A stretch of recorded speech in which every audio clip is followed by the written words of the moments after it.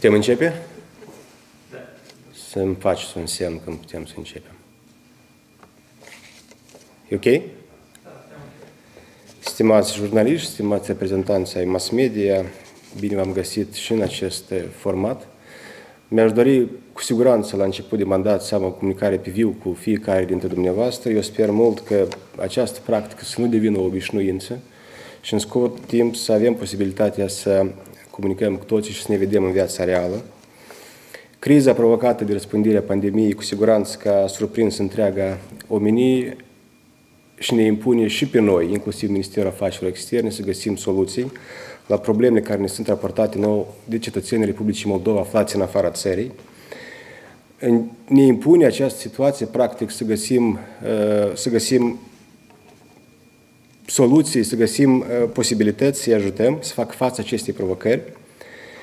Noi cu toții, și cred că și în societate, înțelegem că această uh, nouă realitate ne transformă modul de viață, această nouă realitate ne impune pe noi toți să fim responsabili de apropiații noștri, să luăm responsabilitate față de conaționalii noștri din țară și din afara țării. În cadrul acestui briefing, eu mi-aș dori mult să comunic pe mult discutatul subiect uh, din aceste zile legat de organizarea cursurilor charter spre Republica Moldova. După cum cunoașteți, ieri pe platforma Comisiei Situații Excepționale a fost adoptată o decizie care reglementează acest proces pe paginile oficiale ale Guvernului. Știu că și mulți din reprezentanții mass media deja au circulat acest document în anexa 3. Veți găsi modalitatea care va funcționa de azi înainte legată de organizarea curselor aeriene de repatriere a cetățenilor din afara țării. Aș dori să merg punct cu punct ca să explic pe pași cum va funcționa acest mecanism de azi înainte, astfel dându-ne și nouă posibilitatea Ministerului Afacerilor Externe și misiunilor diplomatice să comunicăm cât mai intens cu cetățenii, să planificăm aceste rute charter spre Republica Moldova, să facem acest lucru organizat, transparent. Dispoziția de ieri prevede foarte clar care sunt responsabilitățile Ministerului Afacerilor Externe, care este responsabilitatea autorității aeronautice civile și care sunt responsabilitățile operatorilor avia care vor opera aceste curse avia. Conform acestei decizii, Ministerul va întocmi listele solicitărilor care vin în adresa misiunilor diplomatice, în adresa Ministerului, cetățeni care vor să revină în Republica Moldova, în aceste liste, ei, cetățenii, indicând cu obligatoriu numele, prenumele, datele de contact, adresa de e-mail, e-mail domiciliul, reședința în țara unde se află și în Republica Moldova, noi deja am proces în pregătirea acestor liste, avem o analiză completă la ziua de azi, cu toate cererile care au fost primite de către noi, avem o analiză foarte exactă a celor cetă- a, a numărul acelor cetățeni care trebuie să fie incluși în listele prioritare uh, pentru a zbura spre Chișinău cu, prin intermediul cursilor avia. Punctul 2 din decizie spune foarte clar că Ministerul Afacerilor Externe va întocmi listele pentru repatriere, acordând prioritate studenților, persoanelor aflate la tratament medical, persoanelor care au necesitatea stringentă să se întoarcă în țară, persoane care nu mai au mijloace financiare ca să stea în țările, cu reședință, țările de reședință actuală. Acest lucru, repet, deja a fost operat de către minister.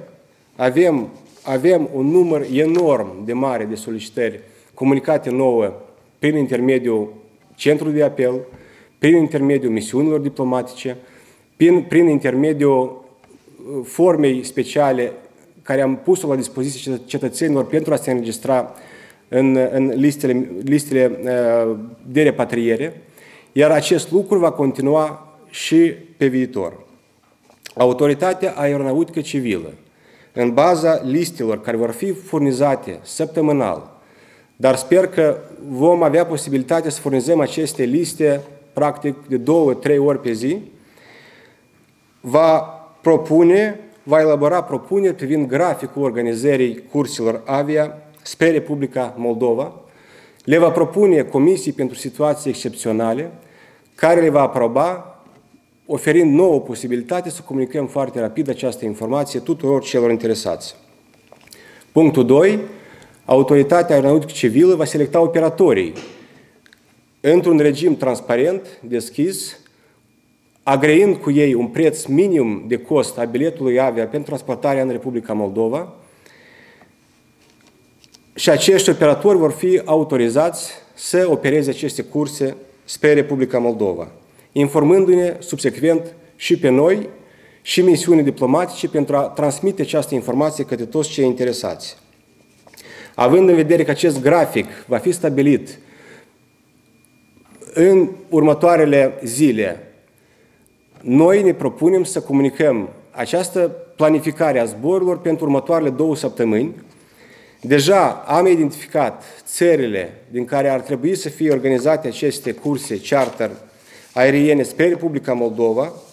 Printre acestea, noi ne dorim să organizăm noi curse charter cu prioritate din Londra, Dublin, Madrid, Frankfurt, Bruxelles, Varșovia, Lisabona, Londra, Milano, Paris, Moscova, Roma, Amsterdam, Praga.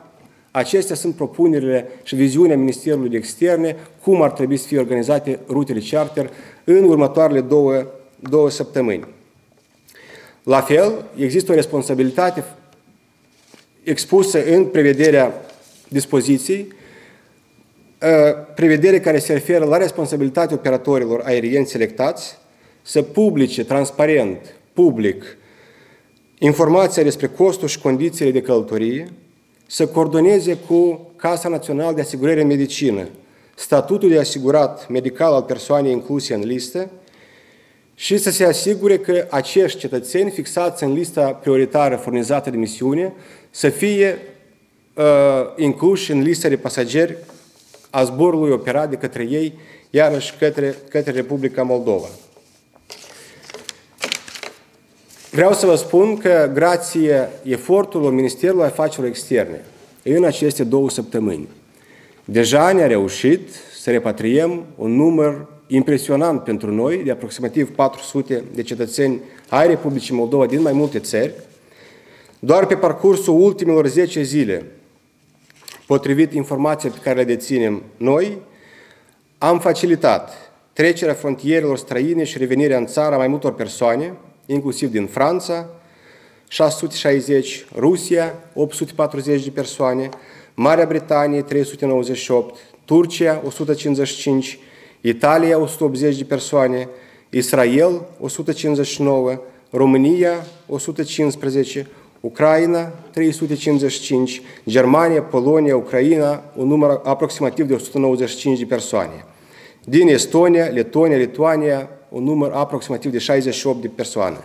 În continuare, aș recomanda insistent toată informația legată de zborurile ceartă spre Republica Moldova să fie colectată de pe paginile oficiale ale Guvernului, ale Ministerului Afacerilor Externe, ale misiunilor diplomatice. Va fi cel mai organizat mod cum am putea să organizăm repatrierea cetățenilor spre Republica Moldova. Astăzi am avut o videoconferință cu toți șefii misiunilor diplomatice, cu care am discutat în detalii toate aspectele acestui mecanism. Am atenționat colegii să fim foarte vigilenți și în lista pe care o pregătim pe platforma misiunilor, să stabilim foarte clar prioritățile. În topul listei, în capul listei, să avem studenți, să avem copii minori, să avem mamele cu copii, să avem persoanele care suferă Uh, de probleme de sănătate, să avem persoane care și-au pierdut munca și nu mai au mijloace financiare ca să revină acasă. În paralel, vreau să vă comunic că comunicăm foarte intens cu autoritățile mai multor state, care în aceste zile la fel operează zboruri pentru a repatria cetățenii lor din diverse țări îndepărtate. Pentru că avem cazuri a cetățenilor noștri din Republica Moldova care s-au pomenit în țări îndepărtate și care nu mai au posibilitatea și nici măcar nu mai speră că vor putea prinde un zbor avia spre casă. Grație comunicării intense care pe care o avem cu partenerii noștri, reușim zi de zi să aducem inclusiv din aceste țări cetățeni acasă. Ieri, pe platforma Comisiei, a fost aprobat aterizarea pe aeroportul Chișinău a unui zbor din Dubai, spre exemplu, care este operat de compania Blue Air din România, care aduce un contingent de 8 cetățeni moldoveni în Republica Moldova și acest lucru se va întâmpla deja mâine. Am solicitat, am avut aceeași solicitare față de mai multe țări, inclusiv Ucraina, Rusia, ca să găsim posibilități în, în, în condițiile când ei repatriază cetățenii lor, să găsim locuri inclusiv pentru cetățenii Republicii Moldova și să-i aducem acasă. Procesul de organizare a acestor rute charter, avia, este un proces de mare responsabilitate și pentru noi. Ne propunem ca procedura care va fi aplicată de azi înainte să nu pună presiune mare pe sistemul medical, pe Poliția Republicii Moldova, având în vedere felul cum se răspândește în condițiile zilei de azi infecția cu coronavirus. Ne dorim de azi înainte, în fiecare zi, și am dat instrucțiuni foarte clare diploma diplomaților moldoveni, să comunice foarte intens cu toți cetățenii care s-au inclus în liste, să comunice nu doar prin e-mail, să comunice prin telefon, să ne asigurăm că viitoarele liste de pasageri ale cursilor avia să fie, să fie uh, organizate cât mai transparent și să nu lăsăm spații, spațiu de speculații, să nu lăsăm posibilități pentru uh, speculații inclusiv din, din uh, partea unor politicieni care, din păcate, s-au implicat în săptămânile trecute în organizarea acestor curse, aducând haos în acest proces. Ne dorim ca acest uh, mecanism să funcționeze, uh, misiunile au fost instructate, ne dorim ca cetățenii care vin în Republica Moldova să vină în siguranță acasă în număr cât mai mulți, dar înțelegem că acest lucru trebuie să-l facem organizat, dosat, repet, ca să nu punem presiune pe sistemul, sistemul medical din Republica Moldova. O să fim în continuare deschiși să comunicăm aceste aspecte în regim individual tuturor reprezentanților mass media, Serviciul de presă a Ministerului vă stă la dispoziție și eu inclusiv. Dacă mai apar anumite necesități de a clarifica, de a preciza tot ce este legat de mecanismul adoptat ieri, noi vă stăm la dispoziție. Eu vă mulțumesc mult pentru atenție.